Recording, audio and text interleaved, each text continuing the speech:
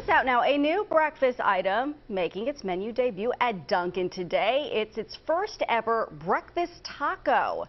They're available starting now. Served in a warm flour tortilla, the tacos come in pairs and are made with scrambled eggs, melted sharp white cheddar cheese, fire roasted corn, and a drizzle of tangy lime crema. You can also add a crispy crumbled bacon topping for an extra flavor boost. Some people were lucky enough to taste test these in the newsroom today, Kate Bilo.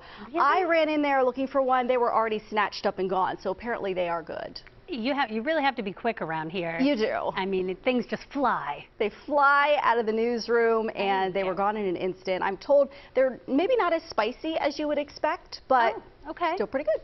I mean, you don't really necessarily want too much spice first thing in the morning. Most Unless you need a kick. least. That's true.